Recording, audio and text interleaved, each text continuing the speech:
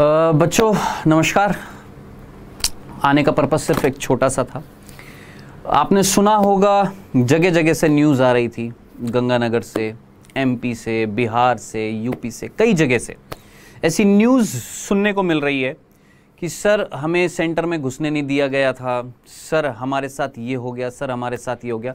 सबसे मेजर जो बात हुई थी, वो सबसे गलत जो चीज़ सुनने में आ रही है, वो ये स्पेशली हिंदी मीडियम के बच्चों के लिए, कि सर, हमारा पेपर जो था, हमने एप्लीकेशन फॉर्म में हिंदी मीडियम में भरा था, लेकिन हमारा पेपर जो था, हमें जो दिया गया था, वो इंग्लिश मीडियम में दे दिया गया था।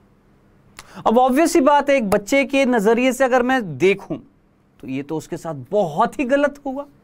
बहुत गलत हुई ये चीज़, कि मैंने पूरे साल भर प्रिपरेशन करी है हिंदी में, और सडनली आपने पेपर दे दिया इंग्लिश और फिर ऐसा भी सुनने में आया कि पेपर देने के बाद में, जहाँ पर सेंटर में पेपर हुआ है, वहाँ पर लगभग लगभग साढ़े चार, पाँच बजे बोला कि लीजिए, अब आपका हिंदी का पेपर है, अब इसको सॉल्व करिए, और टाइम थोड़ा सा एक्स्ट्रा दे दिया। जितना टाइम वेस्ट किया, उससे कम टाइम में पेपर ले लिया। तो अब पता नहीं मुझे कि इसमें कितनी सच्चाई है, कितनी नहीं है। कितनी ये बात सच्ची है, कितनी नहीं है, इसकी अभी मेरे को पूर्ण रूप से अभी मेरे पास इसकी कोई कंफर्म न्यूज़ नहीं है ना? लेकिन मैं यही बोलना चाहूँगा कि देखिए, आप ही के लिए ही जीते हैं। मरे तो नहीं, आप ही के लिए जी रहे हैं। सब कुछ आप ही के लिए करते हैं। जो भी कुछ है, आप ही हैं, है ना दोस्त? सो इसके लिए मैं क्या कर सकता हूँ? मैं बस इतनी गुजारिश कर सकता हूँ हमारी सरकार से, हमारे एनटीए के परिवार से कि भाई, ऐसी चीज़ भविष्य में ना हो और अगर हुई है इस साल तो प्लीज़ हाथ जोड़कर विनती है एनटीए वालों से, इसकी एक निष्पक्ष जाँच होनी चाहिए। उन बच्चों का भविष्य अधर में नहीं लटकना चाहिए।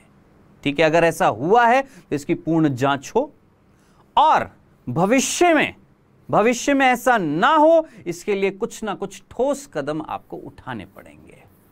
ठीक है तो जो मैं कह सकता हूँ मैं, बेटा, अपनी बात मैंने कही है कि अगर ऐसा हुआ है तो डेफिनेटली इसकी जाँच होनी चाहिए और भविष्य में ऐसी चीज़ किसी भी बच्चे के साथ ऐसी नहीं होनी चाहिए। तो यार देखो, अब जो होना था, सो हो गया है।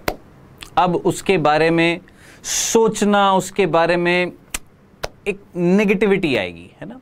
दिमाग से निकाल दो सारी चीज़ें और एक दृढ़ संकल्प ले लो कि एक साल और मेहनत करनी है, दबा के मेहनत करनी है। 400 आ रहे हैं अगले साल मैं इसको साढ़े छह सौ में पलटूँगा। 500 आ रहे हैं मैं छह साढ़े छह सौ सात सौ तक के नंबर लेकर आऊँगा। यानी अगर मार्क्स कम आ रहे हैं तो जी भर के मन लगाकर क्या करनी है आपने मेहनत करनी है। शिद्दत से मेहनत करनी है। अच्छे तरीके से क्या करनी है पूरे साल भर रगड़ना है अपने आप को और फिर से मेहनत करनी है। ठीक है? एक बार फिर से खड़ा होना है और फिर से तैयारी करनी है। हारना मत, हार मत मान लेना। हज़ार बार बोला मैंने आपसे, जिस युद्ध के लिए आप खड़े हैं ना, उसमें हार भी होती है और जीत भी होती है। हारने वाला जो होएगा, वो बाद में फिर से जीत सकता है, ये एक ऐसा युद्ध आप अगर इस बार हारे हैं तो अगली बार फिर से मौका दे रही है आपको ज़िंदगी कि आप जीत सकते हैं और उस जीत के लिए आपको और ज़बरदस्त क्या करनी पड़ेगी? मेहनत करनी पड़ेगी। धन्यवाद।